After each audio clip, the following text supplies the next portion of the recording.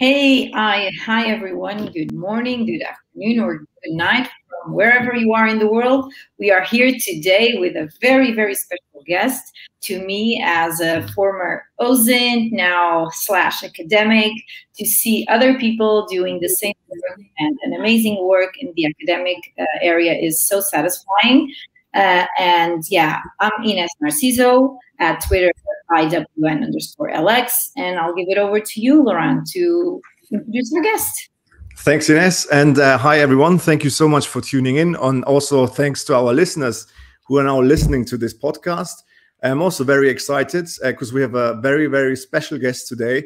And we're going to talk a lot about not really OSINT, but still OSINT. Uh, we're going to talk about social media research methods. So, stuff that we can also use in OSINT and without further ado, let me introduce our guest today.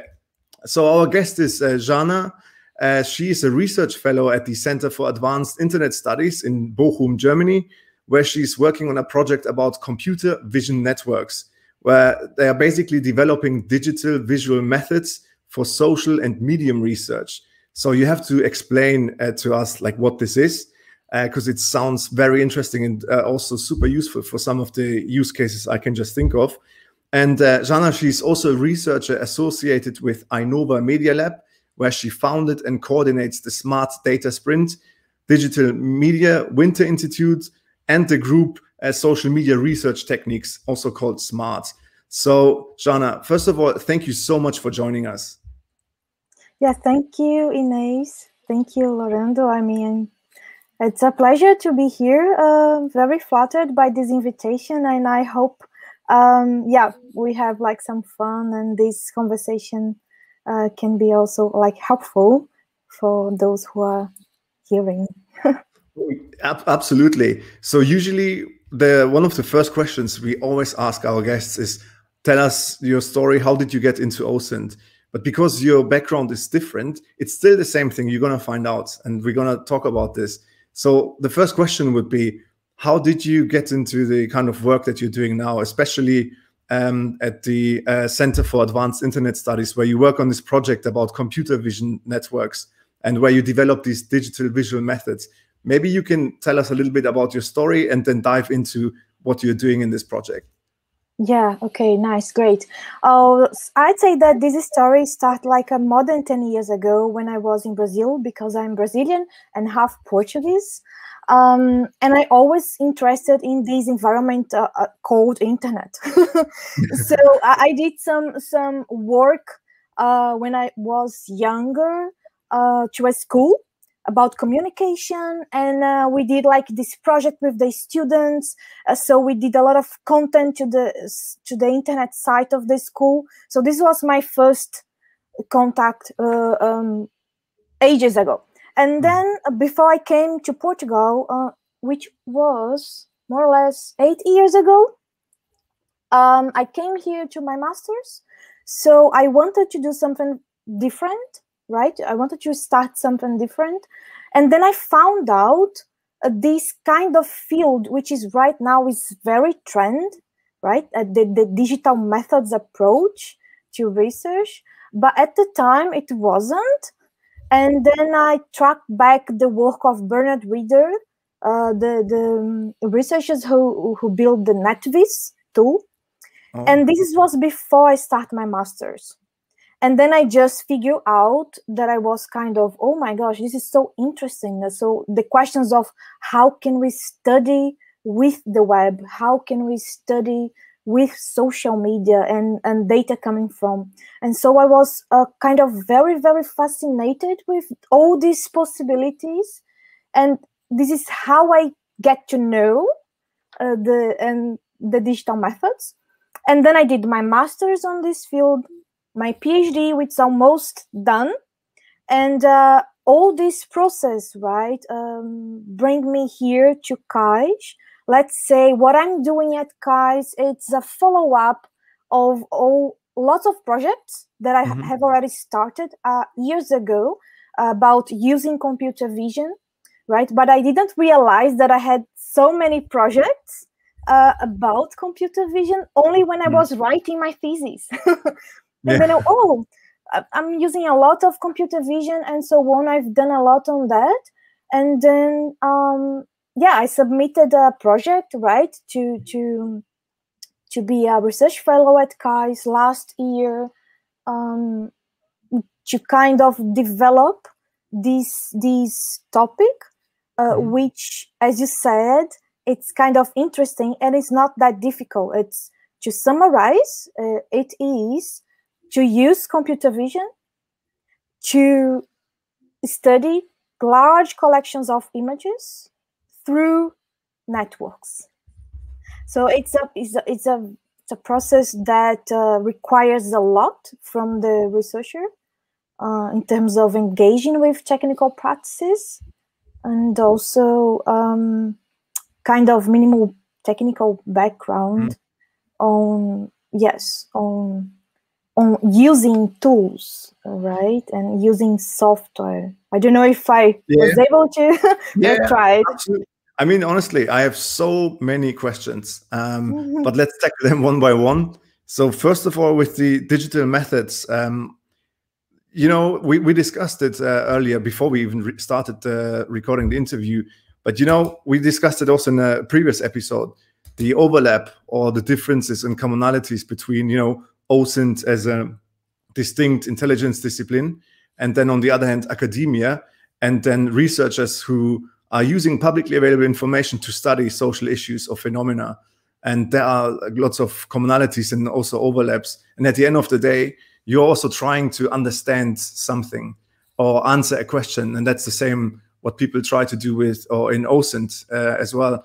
So coming back to the digital methods, um, can you tell us a little bit about um, the kind of projects you worked on, or you know, a couple of use cases on uh, where you use these uh, digital methods um, to to study something like, or maybe even the current project. Um, you mentioned computer vision, but let's tackle this in another question. Yeah. Um, okay. So many projects, but um, let me mention uh, the project that I'm engaging this week. So this week, mm-hmm. that's why I didn't have uh, the time to prepare properly myself to the question. you don't have to prepare; it's fine. Because because I was invited to um, to co-facilitate a project at the Digital Method Summer School. So, for instance, so this is an ongoing project about deep fakes, not detecting deep fakes but trying to understand the issues uh, surrounding deep fakes and deep fakes as as a matter of concern but this project wants to do that using images so uh, and then we use digital methods right to to respond a series of questions uh, concerning uh, deep fakes not mm-hmm. in a sense of detection but in a sense of mapping issue, of mapping uh, matters of concern, using um, public available data, in mm-hmm. this case, hashtagged content, right? Hashtagged by deepfake or deepfakes on Twitter and Google. And on Google is like an overtime uh, perspective, like goes back in time five years they they were able to extract those that data yeah and the results i don't know yet yeah can i just uh, quickly interrupt so you sure. mean you you collect those deep fakes using these hashtags deepfake or deepfake and many probably many others. Images, and then you yes. try and then you try to map out. So let's say you start collecting today and you find five tomorrow you find 10 you go back in history and then you try to map out how these deepfakes evolve and maybe look at also characteristics of in terms of the nature of how they evolve. Is this the case or? In the network right yeah i mean uh, we are doing quite different because the, the, the goal of this project for instance it's not only map um, the issues related to deepfakes through images mm-hmm. but also experiment and, and create visual methodologies. So uh, we're going for the both uh, ways. But I, I can I can also tell you a very uh, n- not using a project approach, but how can we use digital methods like I mean for mm-hmm. society, for instance, yeah. uh, um, for instance, public institutions and organizations are very much interested, right, in, in, in knowing about themselves uh, as an institution mm-hmm. uh, within the web environment and the conversations related to them as, as an institution or maybe like um, uh, social problems. Like for instance we had uh, um, a few years ago people from come from brazil from the fiocruz um, mm, institution that it's a health institution and they were very concerned about brazilians and how brazilians uh, were coping at the time the problems of the zika virus mm. and uh, and how the families were yeah dealing with the impact of uh, the virus, I mean, the, the babies with the microcephaly. And in that case, it was mapping conversations, right? Uh, or, or mapping issues. So, mm. in, in, a sense, I'd say that the social, uh, what's the word in English, um, purpose of digital methods, in a sense, can be um, that back to society is like mapping issues, right? Mm. Um, yeah. and, and maybe help in some ways, either to provide, either to to take some um, uh, um, how do you say uh, take some management or doing things about it right policies yes yes yes Janna, you were you were speaking about uh, Netvizz, for example. For those of us who are viewing or listening us, Netvizz was an amazing, amazing tool. Um, yeah, Facebook I think went down first, and then the YouTube. I think still is it still working? The YouTube tool. Um, it is right. It's really interesting because it allows you to map once you have one video, which other videos are suggested and it clearly creates like a network of videos that you can build from for example so if you are studying for example disinformation or a certain social um, yeah a, cer- a, certain social uh, phenomena you can see how it flows in in the in the in, in youtube through suggestions and how like that network grows for like the regular viewer. Just be minded that it may like um, give you not related directly but it's the algorithm of youtube working. So but but Netvizz is was for facebook for example an amazing tool. And this would be one of my questions which is for like either as an OSINT researcher or as an academic i've felt that access to data had like it was going pretty well. And then in 2000 yeah following cambridge analytica 2018 19 it had like it was gone. And we were kind of all panicking. But then suddenly like there are bad things that bring up good things which was the pandemic. And i think covid kind of spooked social media and they are all a little bit more again trying to give us some access because they know this is a, a problem that yeah needs to be tackled with everyone every hand on board. But i was wondering like what's your feel on the development of like access to social media data?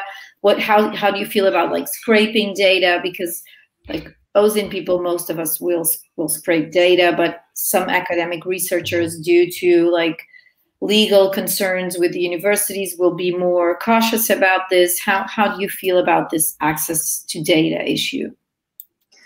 Yeah, um, first related to the um, to the access to data, as you said very well, since the Cambridge Analytica, right? Uh, there was this uh, post API scenario in, so we were so used to to access big, big, big data sets using uh, social media APIs.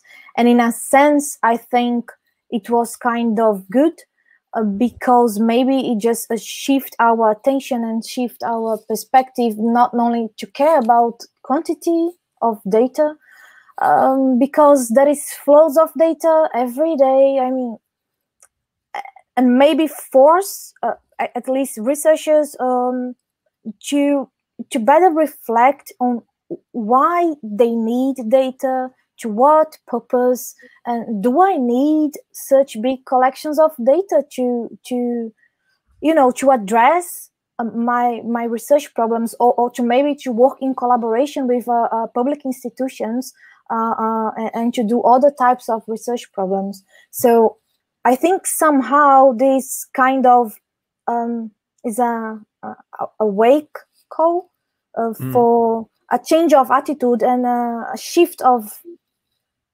of mind, right? In in, in terms of uh, this urgency of having data, data, data, and um, this is one thing. What what was the other? The it was other? about like scraping and, and scraping. Um, I particularly have no uh, problems about scraping, but it's also important to point that we have this sense of research ethics, right? Because when you use digital methods, you do have a kind of different parameters, right, about research ethics than traditional research. For instance, you cannot ask the consent of the users that you you are either retrieving from APIs or either scraping. Uh, so, and there is this, this yes, um, uh, concern about always being ethical, right? When you need to uh, scrape data. And of course, in case, for instance, your research may expose sensitive content or may expose um, ordinary users, right? Not talking about public um, public figures. So it's it's on us to to to not expose them, right? Um. So, yeah. And um, when you when you're because you're also teaching, right? when when when you have not your... this semester not this semester but i, I taught i taught um two months this year at king's college yeah but right now i'm not teaching but when you're teaching like when your students um, come with a challenge like that you know that there's like no tool that can do that uh, how do you what what because in what we feel in OSINT very often is that what what makes tools appear because someone needs them. So someone will have a challenge and will need some data from a place or will need to find something out and they will try to find and build a tool that will go around it and will do it. Uh, and I was wondering if like what would be your advices to like young students that are listening now and or even like, older people but they they want to go into research they want to go through to digital methods what are like the main challenges um, right now? What what are your advices when someone comes? Because my students very often at ISCTE come with like something they have this idea and I I, I don't want to tell them to quit, but I know it's going to be a very difficult road.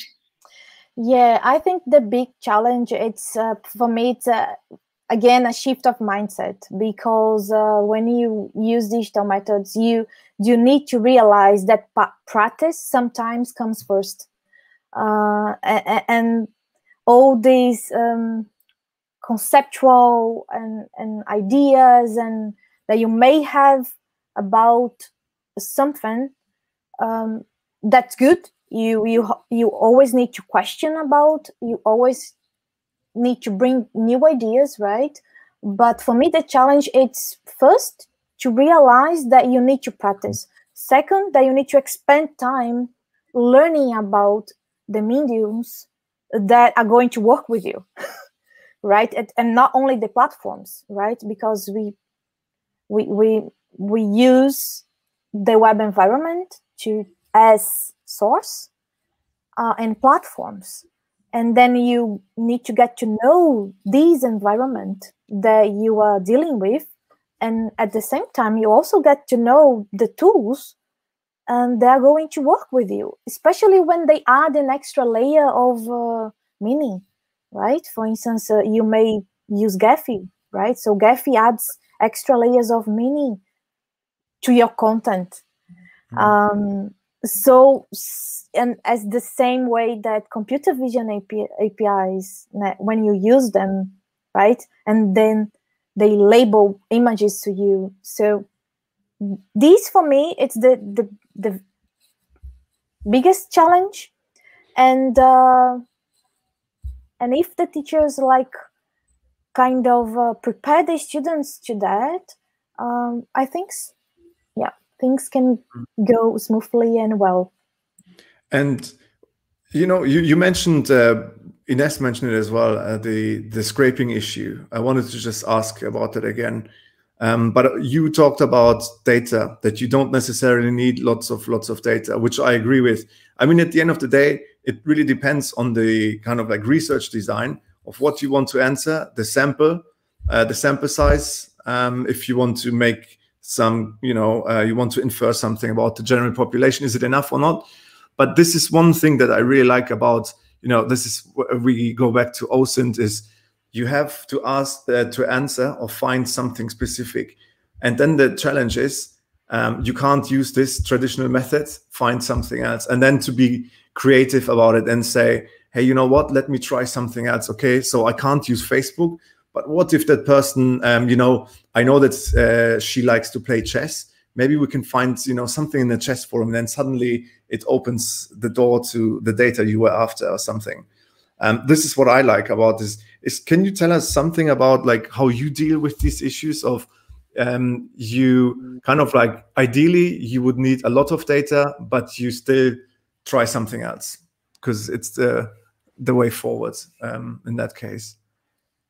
Yeah, uh, th- this question is kind of tricky, tricky for me and complicated because I've never wanted too much data. yeah, uh, because, so it is kind of tricky because I mean, um, everything that I've done so far, it's uh, pretty much situated in a context, mm. right? In in uh, in very specific and uh, achievable. Um, then let me rephrase. Uh, yeah, when do you please, say? Please when do you say like okay that's enough i have enough data oh i understood i understood i understood Mm-mm. okay uh, what i do right this is like some it's not it's not a rule uh, yet right because these methods are still standardizing but my practice is um, in the process of query design and data mm-hmm. extraction and data exploratory visualizations, right? So I, I, I researched the environment that I want to, to approach. So I came up with a query design that I think that can be enough. I mm-hmm. tested, I try out um, exploratory visualizations. Um, I get a sense of the data that I've that I get, right? Mm-hmm. Um, to try to to understand yeah a, a little bit about the, the results hmm. and then depending on on that i may find out a new ways or new keywords or new entry points to improve my sample in a sense mm-hmm. and then i would do that and then okay i decided oh this is the sample right i don't know if, if i could be kind of clear but it's not one way trial right yeah. for me data extraction it's not okay let's use deep let's use deep fakes and extract data mm. And uh, i just wanted to mention to our listeners um, especially those who work in like in an academic context um, twitter has i think this was a couple months ago they introduced a new api and True. which is specifically for academic uh, research product track And with this product track, so academics have access, so you have to apply, but you will get access to more tweets and even historical data. So in terms of data volume, um, I don't know exactly the cap, uh, what the limit is right now for a month, but with the academic track, you can get up to 10 million tweets a month. and there are also a lot of other things as well, which is pretty beneficial.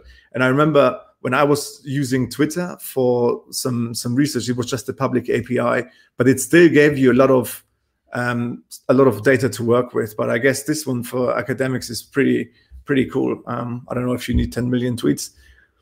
Would be nice. uh, maybe you need, but how how can you analyze that, right? Uh, yeah, that's how the next you, thing. Um, because yeah, uh, that's also the, the problem of trying to to. I mean, I, I'd say for students and for ordinary researchers who who do not have a kind of um, the infrastructure like computing in, mm-hmm. in their labs which is the reality of the majority of the at least not i'm not talking about them from computing or, or computational sciences or computational uh, engineer right talking about uh, social scientists digital sociologists so many of them um, there is also these limitations about mm-hmm. i can get 10 million they millions of tweets but how how can i run in my mm-hmm. lab or my or my computer. So it's another let's say it, it's a big data research right? Uh, and i don't uh, um i don't do big data research. Yeah. But i think this is this is something uh, you touch up on. i see also as very important like in our field. Like I know uh, I know things about you know my area, but I don't know everything. Of course, uh, it's impossible. So collaboration is key, and I know people who are really good, you know, highly skilled at geolocation, highly skilled at this. So I think uh, the collaboration is also important in the digital method social research field, right? Having those experts working only with big data, and then those who you know analyze it and make the, these these conclusions. True.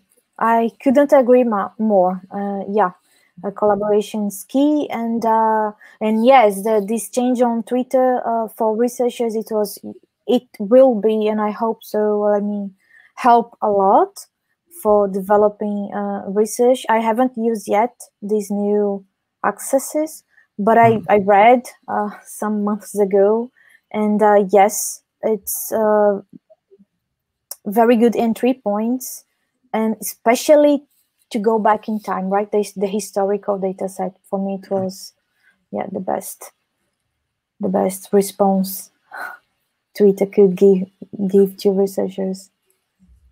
Janna, mm-hmm. one thing that that always uh, surprises me was um, I've never heard, for example, about Netvizz while I was in OSINT, right? Despite the fact that it's also an OSINT tool.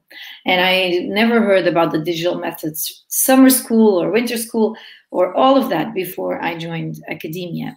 And one of the things that um, coming from OSINT is that these two worlds that are so similar in terms of um, how they collect data like about the entire process you know about first you have the your your research question and then you will decide how you want to answer your research question and you will collect the data and you will analyze the data.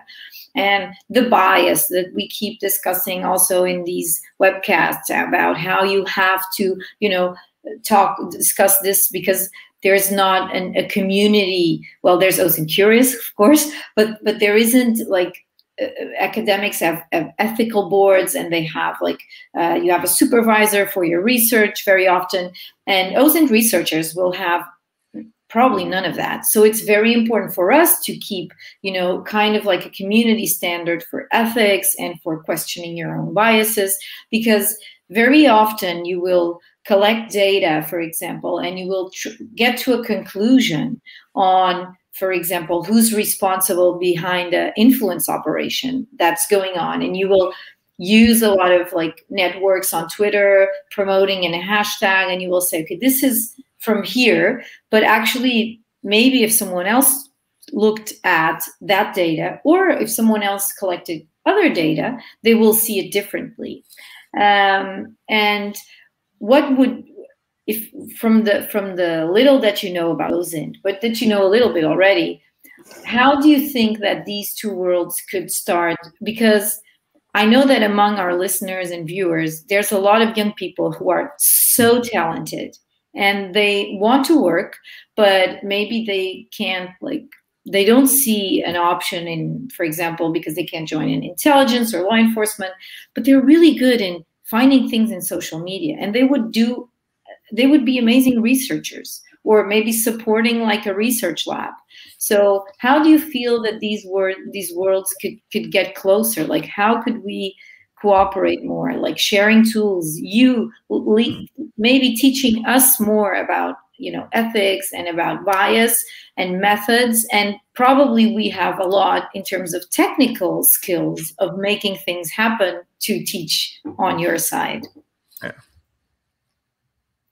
yeah um I know I know not very little, not not much as I should about OSINT, but um, I think this this kind of um, bridging, right, or connection can come from collaboration, right? Uh, as Lorand said, there are these environments called data sprints, which which I think um, which I'm now on this week. So there is this Digital Methods initiative, some schools, but also in Lisbon, uh, the, the Smart Data Sprint, which kind of maybe by still starting walking with his own um, um, foot.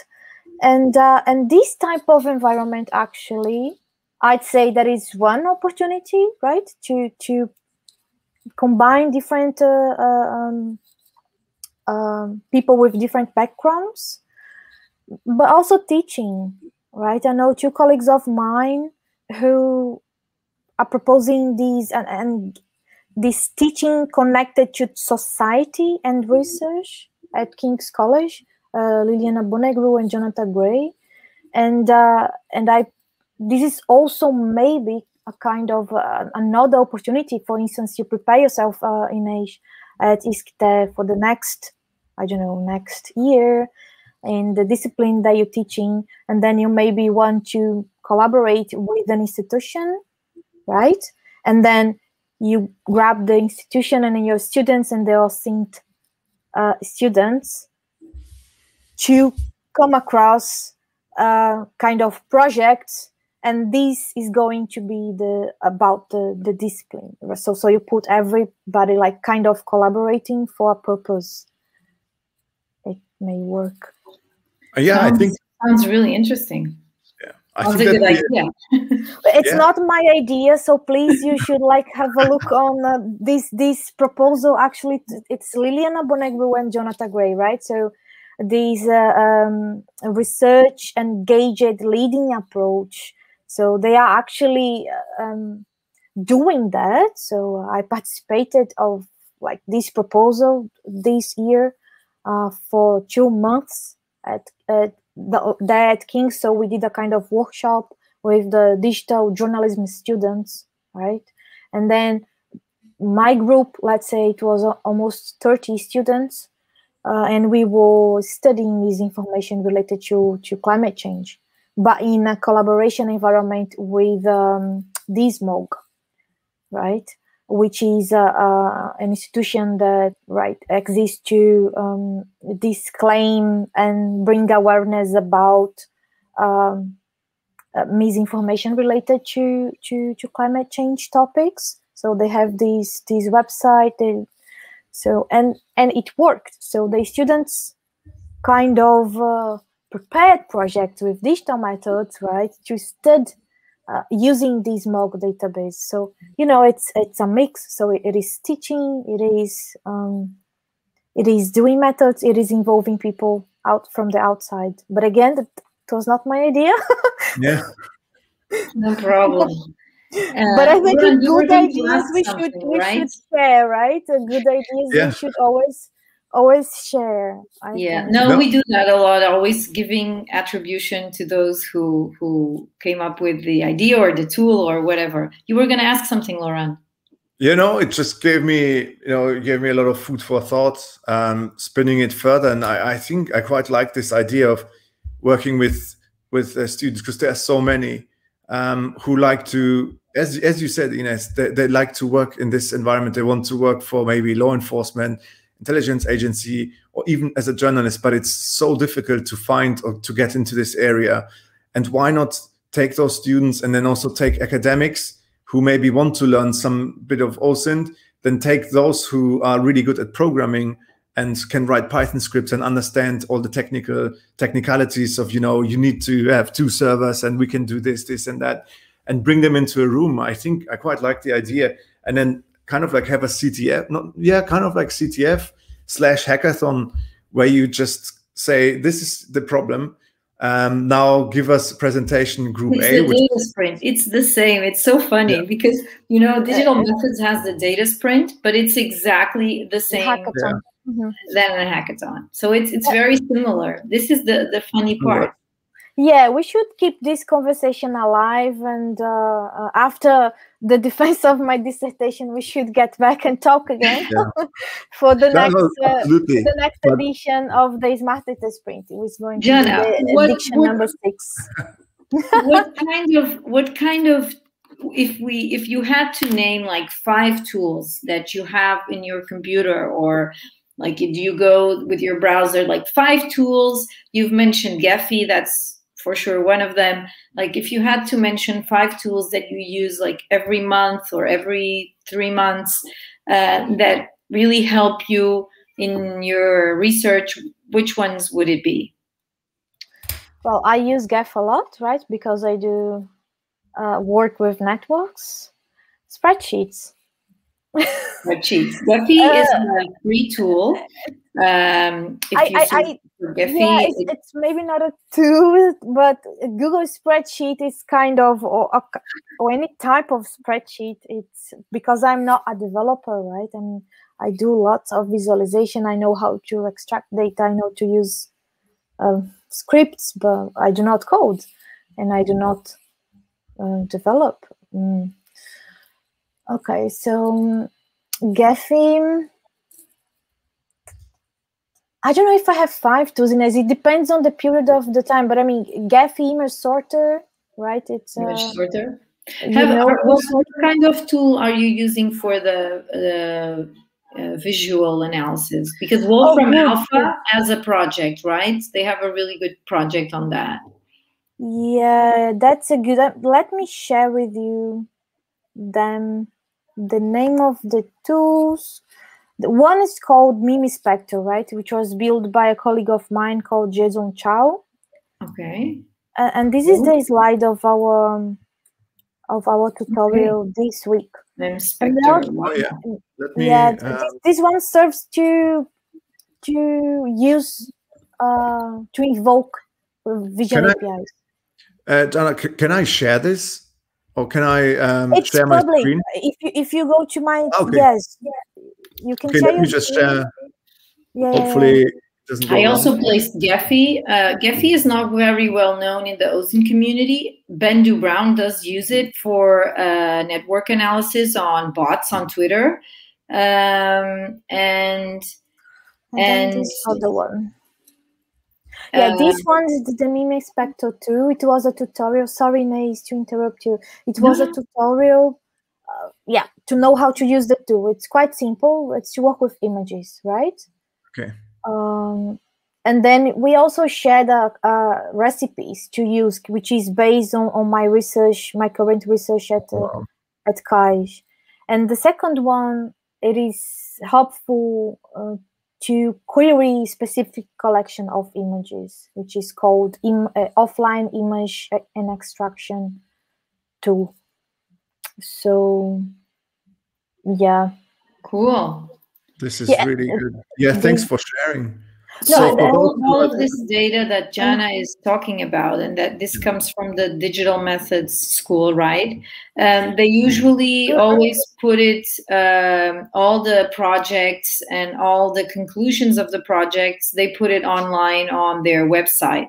So if you go to the digital methods website, uh, you will usually find like presentations, you will find reports of the conclusions that will include the tools that were used, and you can use it like as a jumping start to find an idea for your own research, which would also be an, an, a question that I would have. We, our name is OSINT Curious because one of the things we feel that kind of like gets us all in the same boat is we are people, we are curious people. So OSINT is a skill, but what makes you like like a, a good researcher is the fact that you look at something and go like, hmm, I think, oh, and then you go down the rabbit hole and you're like, you've lost four hours. yeah. so how do you how does it this process come with you? How do you choose like a research subject?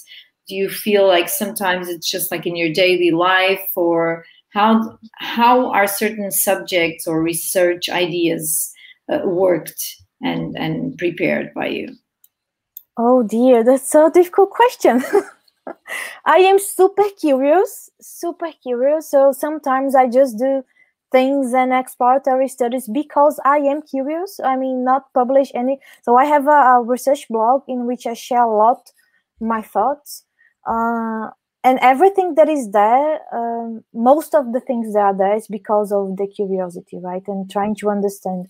But what guide my research actually it's it's not much it's it's not much a theme right? Because i'm i'm interested in understanding um, the technicity of the platforms and software. So and, and this is this is and understanding yes and understanding regimes of functioning right? And understanding digital records and how all these um, beings can contribute to facilitate for research. So this is since ever my my main goal. So and this is kind of guides me. So for instance um, for instance, I remember a few years ago when we could extract data from Netvizz, right? And I was learning how to use Gephi, and I was extracting data for those um, uh, connections, page-like connection. And that but nowadays, mm-hmm. if we if you talk about that, I mean, it's quite simple. Everybody is going to understand. But back then, it doesn't make sense to me, for instance, to apply all those metrics to this type of network because the data were coming from Facebook. I mean, I know how the connections were made. So I was, I was trying to understand what does it mean degree, out degree. I know right now this, it means silly, right? Because one can say, okay, Facebook pages, connections, out degree it is it is a page like another. In degree is if a page receive likes. But you see it th- that's the good part of being curious because after you go through the whole habit as you said uh, Inês, things seems to be a pretty yeah what is the word? Logic.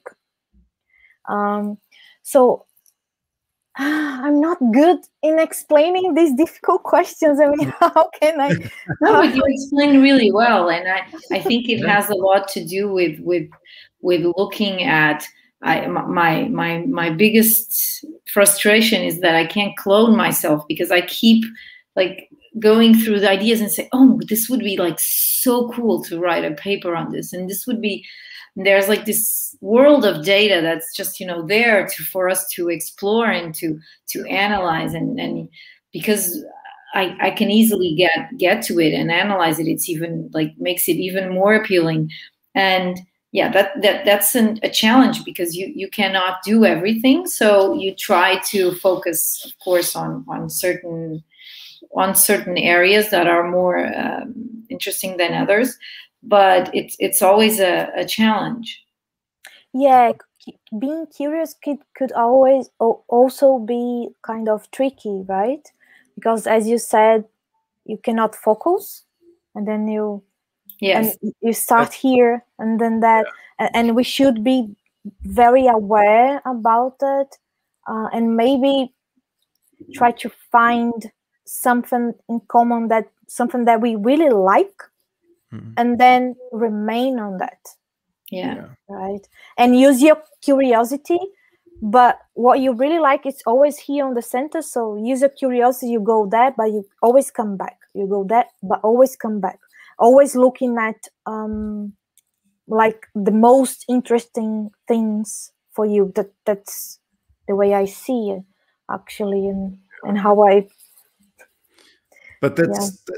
That's exactly also one of my biggest problems um, i mean don't get me wrong like i love to be curious and this is how i read about new stuff and get new ideas um, but i always have to stop myself like you can't learn everything because uh, ideally i would love to become you know the cloud engineer the architect, machine learning, AI specialist, and everything on top of it. But that's not possible. Um, but at least, you know, I know that these things exist. I kind of like understand it. And if I really need it for something, I, I have to just ask the expert, please help me. I have no idea about this. but yeah, it's always like that. Um, before we wrap up, um, I just wanted to show two things and then I have a last question for you. So um, we discussed, uh, we talked about the digital methods initiative um, so let me just share my uh, Chrome tab first of all. So for our viewers, so this is the website. It's and for our listeners, it's wiki.digitalmethods.net. And then you can find more information about the Summer School 2021. They have also um, lots of tools that you may find interesting. Um, especially the the scraper for Twitter is absolutely fantastic. DMI TCAT. Uh, I used it as well in the past. Um, so that's Digital Methods Initiative. Um, and we also mentioned uh, and we also mentioned Ben. Um, in that regard, I just wanted to share this here. So Ben, um, he probably everyone knows about Ben, Benjamin Strick. Um, change the, the screen. Okay, all right. Then let me just. I'm just uh, feeling sorry for Ben. yeah. Ben, we are with you. Wait, I have to stop, and now I have to do it again. No worries. Uh. Go so check out one, Ben's work, Janna. It's really interesting. So here in this post, so he's done a lot of case studies on uh, Gephi and Twitter network and um, visualizations, and this blog post specifically on his um, blog goes about how you can scrape and analyze Twitter networks. It goes really into depth of the research preparation, how you actually what you have to prepare, how you can download this thing, and then how you find these networks and how you analyze it, how you capture it. So it's really uh, well written. And this is also something for you to check out. And while we are at it, um, Ben has also a YouTube channel where he goes into some cool OSINT stuff. So he talks a lot about the basics in OSINT, uh, geolocation, and lots of cool things. So just check out uh, the YouTube tutorials um, on here.